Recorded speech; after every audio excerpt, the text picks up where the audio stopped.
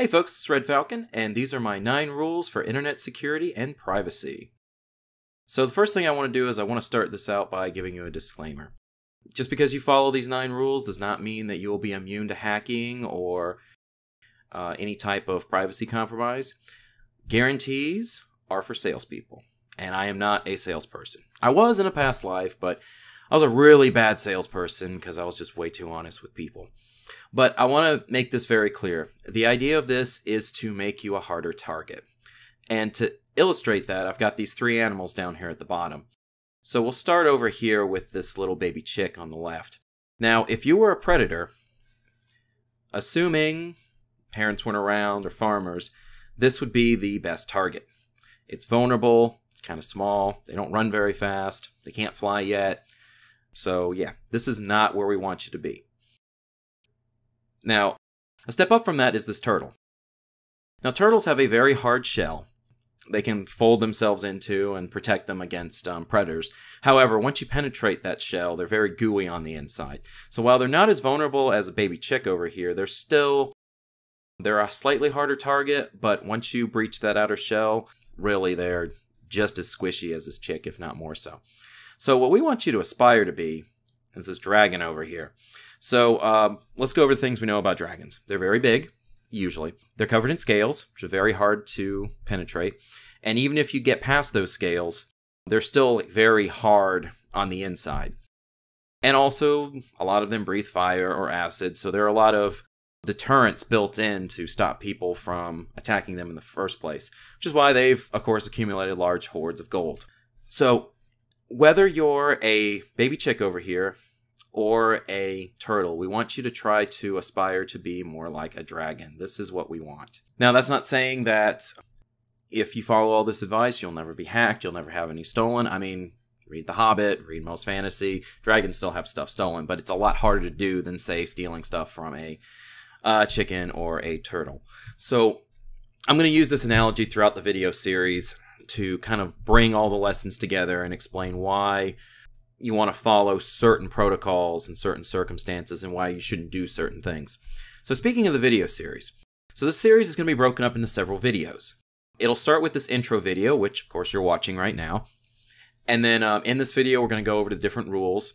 And then each rule will have a video dedicated specifically to that rule where we go in depth more on that rule and what it actually means and what I means by certain terms. So I'll define some terms for you. And then um, within this little video segment here, we'll have demo videos where I'll show you a particular piece of software or something that you can do. It'll, they'll be very short, very practical. And the reason I wanted to go with this modular design is as things are updated, as I find better software as certain software is no longer considered secure, I can just swap those videos out and I won't have to record the whole thing. Plus, um, if you want to watch a specific thing, you can just go to that video. You don't have to worry about skipping through anything. And all these videos will be in a playlist ordered like this. So we'll have um, the uh, intro video at the top, and then it'll go in sequence from there following this format. So now that's over, we can actually go over the little rules. So we'll start with the first rule. Now, a lot of you have heard this one before. Use strong passwords. All right. So all of you know that. That's great. But what I want you to emphasize is the S right there. You should be using different passwords for different accounts. And I'll explain why you want to do that. And um, I'm also going to talk about how to generate strong passwords, but not only how to generate strong passwords, but how to generate strong passwords that you can actually remember. And of course, no one can keep track of every uh, separate password for each account. There's no way you can keep track with all of them. So I'm going to show you how to use password managers. I'll have some specific videos on how to use different password managers, um, pros and cons of each, and uh, should be pretty fun. So second rule is use an account with limited rights. So a lot of you, if you just got your computer, you're probably running as an admin account, which means that you can install software and system changes to your computer. Well, guess what? If someone were to compromise your computer, they can do the same thing. So we're going to talk about why you shouldn't be an admin. We're also going to talk about how to set up a standard account. And I'll have videos showing uh, how to do that in different operating systems because it's slightly different in uh, each system, whether you're going from uh, Windows, Mac, or Linux. Rule number three is block third party content. And a lot of you probably, some of you may not have heard about third party content. You don't know what it means. So we're going to explain what this means and um, I'm going to demonstrate some examples of software that block third-party content. But along with that, we want to talk about the pros and cons of using this type of software because a major example of third-party content are ads. So we'll talk about the ethics behind that. Rule number four, backup stuff you can't replace. So I'm sure a lot of you have been told, back this up, back up, you should be doing backups. That's great but you've probably the next question is what should I back up and how do I do that? So we're going to explain why one backup isn't enough. We're going to talk about cloud storage and what you should back up and we'll also we're also going to go over some different backup strategies and different backup types. So you can be prepared if something happens to your primary system. Rule number 5, encrypt everything. And I mean everything. So we're going to talk about why you should be using encryption.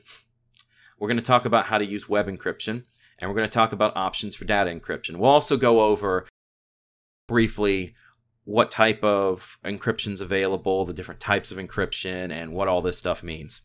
So don't worry if you've never heard about encryption or don't know how it works, we're going to go over that.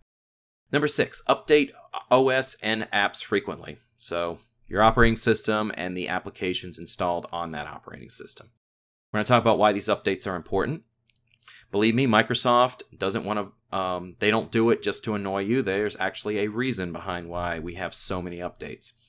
We're going to show you how to update automatic, enable automatic OS updates.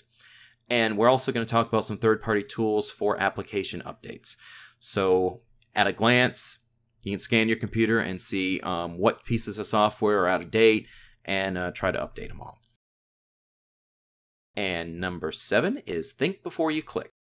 So this mainly is going to talk about phishing.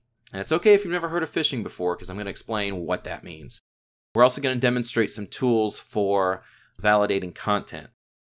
And this is a quick example of your uh, your thought process.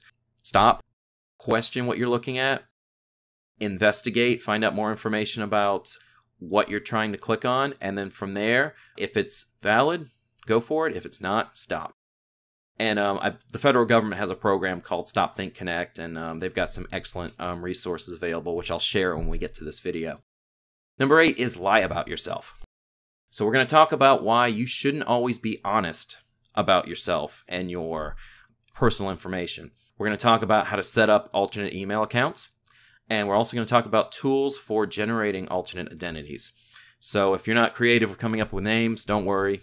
I've got some sources where we can come up, we can generate identities, and you can go from there. And last but not least is number nine use MFA when offered. So we're going to talk about what is MFA, which is uh, multi factor authentication. We're going to talk about why you should be using it. And we're going to talk about the different types of multi factor authentication. And also, we're going to demonstrate some uh, videos uh, showing you how to use different um, MFA apps. So those are my nine rules. Um, that's generally how this uh, video series is going to go. And you're probably wondering to yourself, I didn't mention antivirus or um, anti malware. And that's because in this day and age, it's more important to try to prevent an attack than it is to try to um, rely on antivirus and anti malware to pick it up. Now, I'm not saying never use this software. No, by by all means, the more layers of defense you have, the better. But I'm just saying it's no longer enough. You have to actually you have to do more to keep yourself safe. And yeah, and that's it for uh, the intro video. Thank all of you for watching and down in the description is my Twitter and how to find my Facebook if you want to uh, send me a like and follow me. Uh, I'd just like to say um, I hope you enjoy the series and I hope it hope it's helpful for you and stay safe out there.